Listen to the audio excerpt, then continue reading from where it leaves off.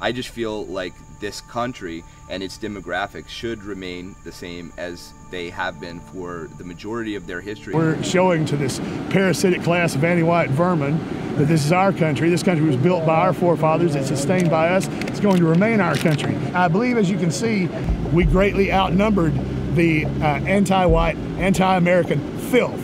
And at some point, we will have enough power that we will clear them from the streets forever. That which is degenerate in white countries will be removed. Shots rang out just before 10 a.m. We're under fire. We're under fire. The chaos unfolding at the Tree of Life Synagogue in Pittsburgh.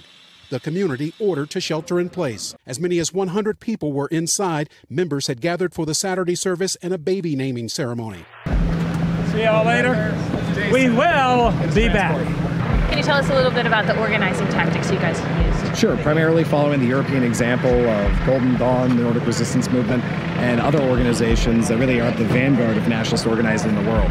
Be able to coordinate over a large area to bring our people together. This is the largest nationalist rally in over two decades here in the United States. It's incredibly exciting. These, these people want violence, and the right is just meeting market demand. I'm, I'm here to spread ideas, talk, in the hopes that somebody more capable uh, will, will come along and do that. Somebody like Donald Trump who does not give his daughter to a Jew.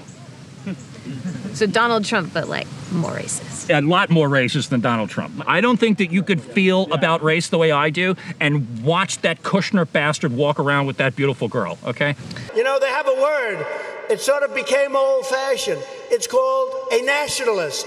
And I say, really, we're not supposed to use that word. You know what I am? I'm a nationalist, okay? I'm a nationalist. Nationalist. Nothing. Use that word. Use that word.